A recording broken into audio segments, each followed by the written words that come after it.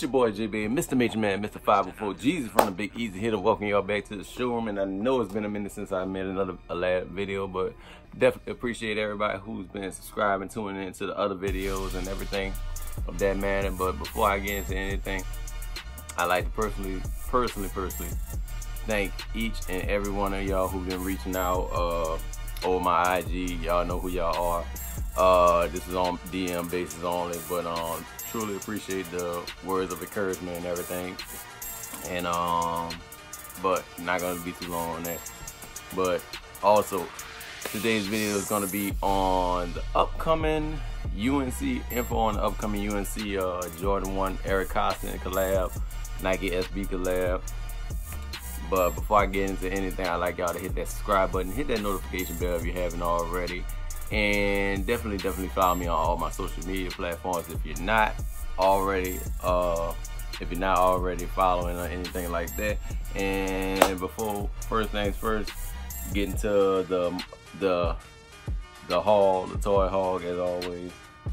So first finally got my hands on the spider-man far from home the the navy uh the navy suit.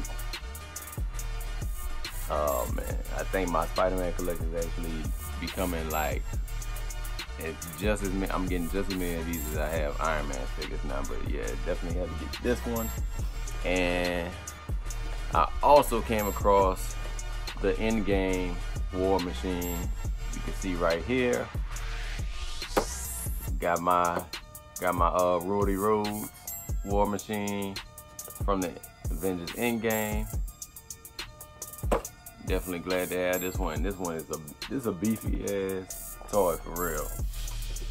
It got some weight on it. Also came across my Madripoor Wolverine figure. If y'all not familiar with this version of Wolverine, this is when he was in Madripoor, when he was uh in Japan. Definitely, definitely uh got to be a comic book fan for this one, but I'm glad they're bringing more of the Uncanny X-Men line out for the most part.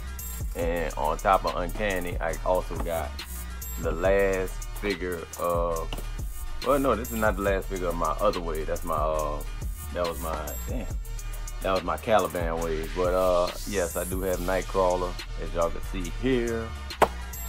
This is the Wendigo Build-A-Figure uh, wave and I think I yeah I'm missing a, a, like five four, five other figures so I'll be getting those soon in the collection I actually pre-ordered uh, a few more figures so they'll probably be in the next couple weeks or whatever the case may be and I ran across another Power Rangers Lightning Collection. This is from the new series of Beast Morphers. This is Beast Morpher Gold Ranger, as y'all can see here. And you can definitely see that civilian head on there. Glad to have him in the collection. And also, I got my Lost Galaxy Lightning Collection Ranger. As y'all can see, this is the Magna Defender. Uh, this is Mike. The only gripe I have with this figure, and I'll probably get into that on another video, but this is for the uh, people who actually collect these figures. The only gripe I have about these is it did not come with a civilian head. And I don't think uh, I don't think the character Mike actually had a helmetless scene with the Magna Defender costume on. So that's probably why they didn't add the head in there, but we all know who the Magna Defender is for the most part. And um, this is actually an early look on this figure in general because this figure is not really hitting shelves yet. I think it's street dated, but I was able to get my hands on it early. So yeah, just be on the lookout. These may be popping up, and there's also the uh, Armored Black Ranger that's supposed to be coming out as well. Um, and yeah, and last but not least, let's get into this. This is Super Saiyan Broly from the, Dra the Dragon Ball Super version. And I'm gonna just be all the way real with y'all. I wish this figure was bigger. Like this this figure should have been like a little bit bigger than what it really is. If y'all have to pay attention to like the height difference between him and Goku, like this should have been like a little bit bigger. I mean, I wouldn't mind paying an extra, uh, maybe five or six, five dollar, extra five dollars for this to be like at least a seven inch scale, a seven to maybe hell, it could have been a, a damn near eight inch scale if it meant we would have got the mask that we were supposed to have for Broly. Cause uh, like him and Goku are damn near the same, and this is in his Super Saiyan form. So, and Broly's already a tall character in comparison to Goku and Vegeta anyway. But yeah, I mean, uh, still a dope figure to, for the most part. I mean, the detail is okay on there. I might get into that a little bit later, but other than that, yeah, it is what it is. All right, but let's go ahead and get into this right here. Let's talk about the UNC Jordan 1, which is scheduled to release on August 10th in skate shops. I'll probably put a list of skate shops up here somewhere. And also, not only that, let's talk about this for the most part with this shoe. This is another Jordan Brand SB collab, just like the first one. And I'll pull that out so we can have comparisons between that and these other uh, Jordan 1 lows that I have right here. So um, let's just go ahead and get into it right. All right, as I was saying, you know, Eric Koston, he has a, he has another uh, Jordan Nike SB collab coming up, and as uh, incorporating this shoe right here, the Air Jordan 1 Low OG, and it's gonna be in the UNC color, which I have uh, pictures of that up there as well. And basically, the uh, initial thing behind that is is actually paying homage to the shoes he found in the outlet in a similar colorway. But um, but the only thing the only thing about the Eric Koston Jordan 1 SBs is they did do changes to that in comparison to the regular Jordan Retro uh, Retro Low OG, which is they reconfigured the swoosh, they reconfigured the tagging and the badging and all that. Uh, pretty much because uh, if I remember correctly, there is a price, a serious price differential between this and the other shoe. Let me go get, let me get that box for y'all right quick. All right, let's let's look at the difference between the box. As y'all can see on this box right here, this is the uh, Nike SB Air Jordan 1 Low Quick Strike and if you could read on there, the price of this was 110 As you can see there. And on the price of the Air Jordan 1 Retro Low OG, the price was $130. If y'all can see that right there. Let's see, 130 So that's a $20 price difference from the OG and the collab. Now, to be honest with y'all, I don't understand why there's a serious price uh, differential between the two because to be honest with y'all, that this is technically a SB pricing right here. This is a SB pricing at 110. But you have the full, you have the zoom unit in the bottom of the shoe, which this one does not have.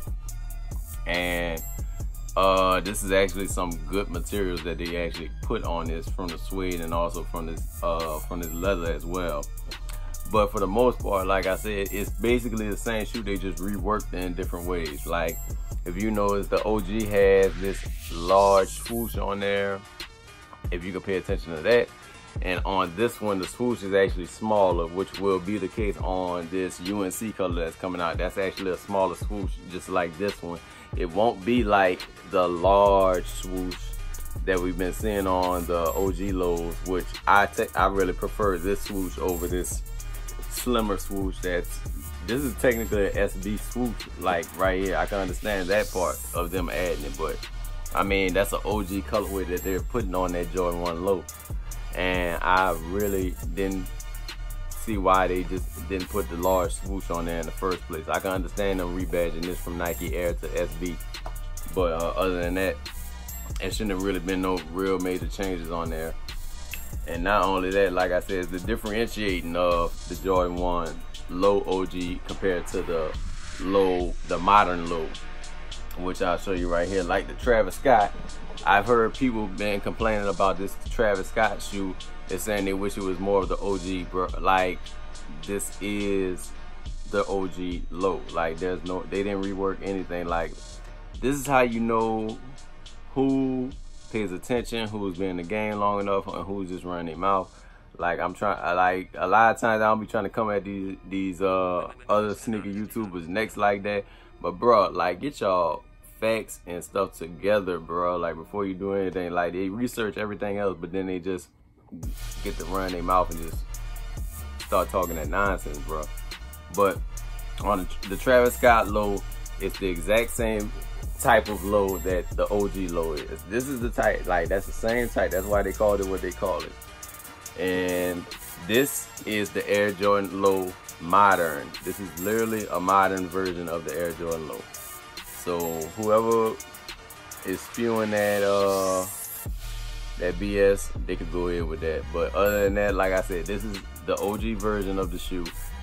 They didn't rework it. It's, everything is the same as it was on the original OG low. But um, now we get to this modern version, as y'all can see right here.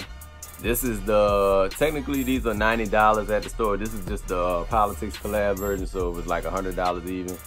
But for the most part, like I said, uh, it's just a reworked version of the low top. And as y'all can see, the stitch, the stitch swoop is on the lower panel of the collar.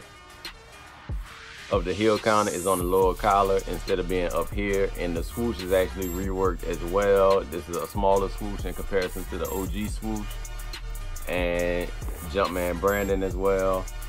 And a 23 on the on the tongue to, uh on the middle of the tongue which you do not see on the Travis Scott. Let's get that let's get that clear. Like that everybody's talking about the resurgence of the Air Jordan 1 low and why it has hype now. There's always been a degree of hype with the lows. It's just they're broader now. They're putting more better colorways on there. People are now starting to see and venture out getting mids and getting low tops now as comparisons to the high which we've been saturated with for the last couple years. So i mean it's good to have a variety. I've always been a fan of low tops. I've always been a fan of the mid tops. My first jordan was the unc uh patent leather in 2003 which was technically a mid but we were still we were getting mids and thinking they were highs back then because that's all we had. It's the same height as the 2001 breads. So there's not really that much differentiating between those two those shoes right there but for the most part like i said man i'm kind of looking forward to this eric koston uh, release. Is gonna be i i see him selling out.